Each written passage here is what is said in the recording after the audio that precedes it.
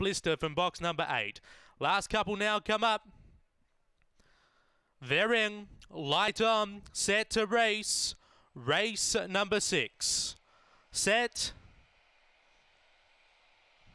Away, Fernambulus began well towards the centre, is mustering across, hunting up, forced to excel. Also there, Aston Cosmo, and Aston Cosmo gets across. A few got checked out of it, forced to excel up to second. Then we go back to Fernambulist with Blister, Souls Buddy well back, Laser Guy, Corborn Boomer, Blasting Billy on top, forced to excel. Aston Cosmo coming again, and Aston Cosmo gets up to beat forced to excel, Blister, Fernambulist. Then we go back to Corborn Boomer, Laser Guy.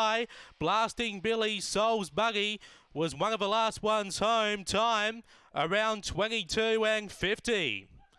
Action packed race after race number six. Number seven, your winner. Aston Cosmo for Matthew Payne will beat home number two, Forced to Excel for Lauren Harris. Third, number eight, Blister for Chris Yench. 728 in the frame, 22.52 that time. Fourth will be number four, Fernambulus, to Began well, but just got knocked around for trainer Jane McNichol. A half length by two and a quarter. Early splits in 508, 1372.